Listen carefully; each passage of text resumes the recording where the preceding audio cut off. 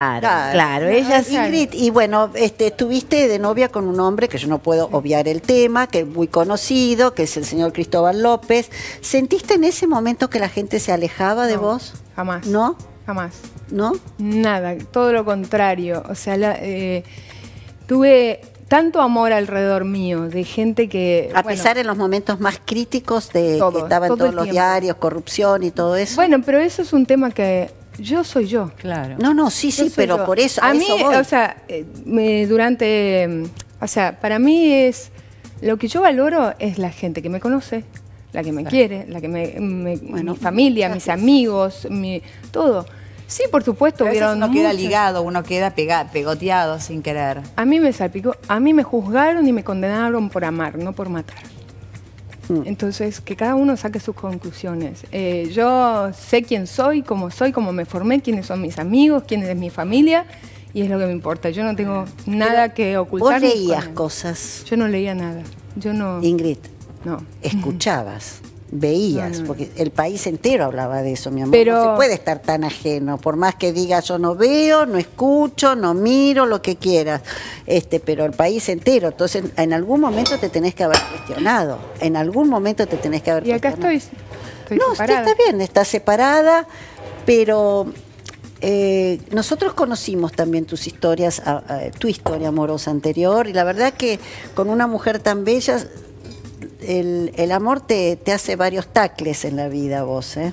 ¿No? Sí, en, sí, en la historia también. Bueno, pero es lo, que, pasa es que las que la conocemos y, y, lo que yo estoy de acuerdo un poco con Ingrid, que vos eh, te agarrás de la gente que querés, que te conocés, que piensa en vos, cree en vos y con eso te sentís la verdad totalmente eh, que llena. te llena, ¿entendés? Confortada. Y, y sí, todas, nadie, ninguna conociéndola a ella le podemos Pero no estamos hablando del juicio que le hacíamos la gente que la quería a Ingrid, para empezar. Estamos hablando cómo vivió ella una situación de un hombre que hoy no hay página en internet que haya algo ligado a él, aunque esté adentro de la cárcel.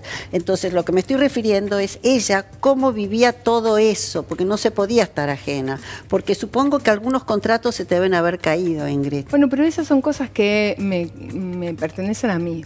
Yo creo que todos tenemos derecho a guardarnos. Eh, hay cosas íntimas Que, que, puedo guardármelo yo. Yo no quiero abrir un abanico de. Porque también cuando opiné, y en, el programa de tu mamá, cuando me preguntaron si lo conocía, y dije que no, se burlaron todo el mundo. ¿Por qué? Y porque decía, ¿cómo no vas a conocer a ese hombre? No, si no, sabías quién era. Bueno, ah, antes de ah, salir. bueno, antes de salir, ah. cuando empecé a salir. No, porque cuando, empezó, cuando empezó, a salir, pero, no, se hablaba de Cristóbal López. Cuando Ingrid bueno, pero en ese momento me miraban y decían, no, ¿cómo no lo conoces? Y no lo conozco. ¿Por qué tengo que conocer a toda la gente del país, eh, o sea, los empresarios del país? no Yo siento, hago mi vida como, como me toca vivirla. He pasado situaciones tremendas, o sea, acabamos de hablar de la... Perdí a mi hermano y peor cosa que eso no hay o una enfermedad y todo. Lo otro, cada uno... Yo en eso te eh, entiendo mucho, yo también perdí un hermano. Sí, por eso. entiendo Entonces, muchísimo. Me parece que hay cosas que yo, no vengo a hablar de él. No, no vengo nadie te pregunta, pero estuviste muy ligada a él, muy ligada. No, no, no, no o sea, fue mi pareja. Listo. Bueno, estabas ligada y bueno, efectivamente a él, eh, Ingrid. Y bueno, pero, pero eh, se mezclan las cosas no, No se mezclan las cosas. Yo creo que vos mm. supiste muy bien con alturas poder diferenciar las cosas, lo que eras vos y lo que era tu relación de vida de pareja. Te enamoraste de ese hombre, tuviste un tiempo con él. ¿Cómo haces para un hombre? ¿Qué es lo que te hizo separarte del el amor?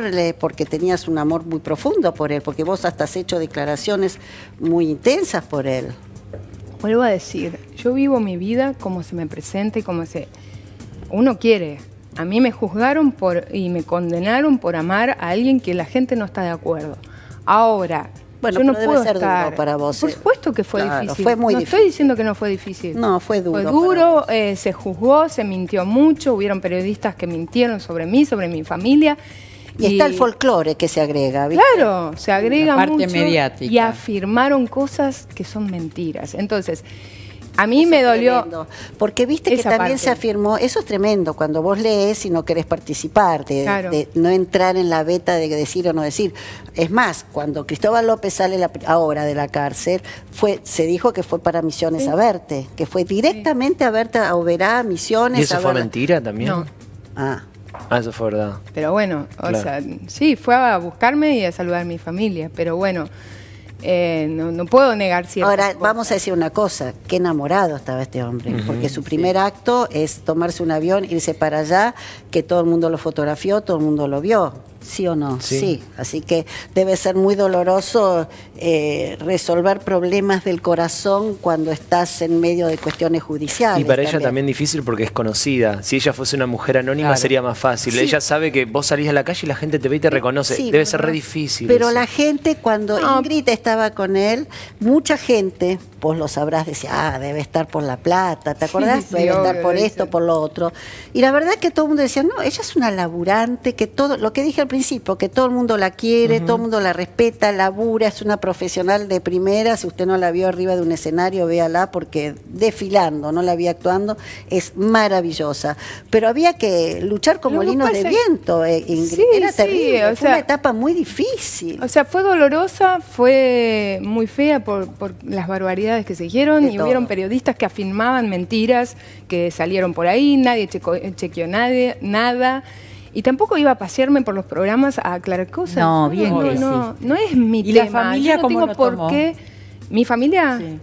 No, bueno, ¿eh? con dolor. Con dolor, o sea, porque se mintió mucho. Entonces, o sea, eh, yo pero, como digo, son las tortugas ninjas son noticias que, tienen todos los ingredientes periodísticos. Todos. La bella mujer, la modelo, el empresario poderoso, que al final era un empresario que ahora va a ser juzgado y está siendo juzgado y se descubren cosas con mucha corrupción de por medio, perteneciendo a un gobierno que nadie quería o que la mitad no quería, si querés.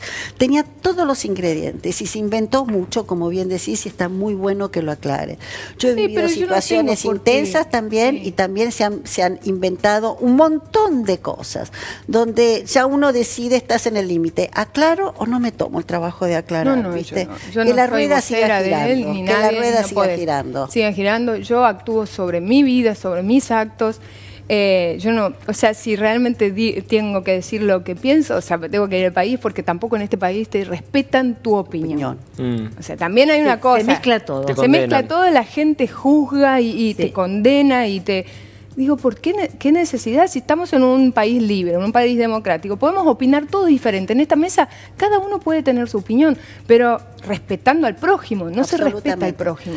no, estoy hablando de cuestiones políticas de, ¿eh? o de partidos políticos. Pero hay un tema de envidia, celos, entre todo ese combo también tenés eso de la gente. Y mucha hipocresía también. Bueno, ni hablar. y todas estas mentiras que se dijeron, bueno, pensaste en llevar a la justicia periodistas que por ahí te hicieron tanto daño, medios. ¿Para qué? no, digo, qué sé yo. Sobre todo la justicia argentina, que tarda 20 años. Perdón, perdóname, o sea, ¿para qué me voy a meter? Eh, mira, al cerdo le gusta embarrarse en mm. el lodo. Yo no voy a ir a ese lugar. Yo sigo mi vida, hago vuelta atrás. Sí, por supuesto, te sentís violada, porque es así lo que sentí. O sea, porque se dijeron cosas que no son ciertas y se mm. metieron con mi familia y humillaron a un montón de gente de Misiones, de Oberá. Entonces, eh, eso me pareció indignante. ¿Y tu familia no, Y sobre todo, no, mi familia eh, se reía, mi mamá y mi no, familia... No, pero también la pasaron mal, por eso, no, pero por ahí, pero, por ahí dijeron, mira, Ingrid, pensalo dos veces. No, no, mi, familia eh, es de fierro y sí. todo la familia de uno, es la familia de la uno familia y uno sabe de dónde viene. Entonces, yo, o sea, acá en este país todo el mundo puede hablar y se dice que puede ser, quizás que. Se habla en supuesto y nadie, o sea, en Estados Unidos, en otro lugar, cerrás un diario cuando, cuando mm. afirman una mentira. Es verdad. Acá no. juicio inmediatamente, acá no, acá nadie te protege. De todo esto que viviste que fue sucio, eh, tomaste decisiones, sufriste, te reíste, sos inocente. ¿Qué sacás de todo esto? ¿Qué sacás de esto? De, de, dentro de tu corazón que dice, bueno, voy a elegir otra cosa, otro rubro. ¿Qué saco de esto? Que la vida es bella, que nacimos para ser felices, no perfectos. Sí. Puedo resumirte con eso. Está bien. Yo no, no puedo, no tengo por qué quejarme. Miren lo que soy, la gente me quiere, es algo, eh, bueno, me eligen para trabajar, me eligen todos los no días. Paras de tener contratos. Estos cuatro días eh, en Silkei. Lo que has brillado, lo que te han aplaudido. Ah, ayer fue Silkei. Ayer y la vi el domingo en Señor Tango, que hizo una pasada apoteótica. Y yo decía, yo te miraba eh, de Silkei, que ah, una fiesta.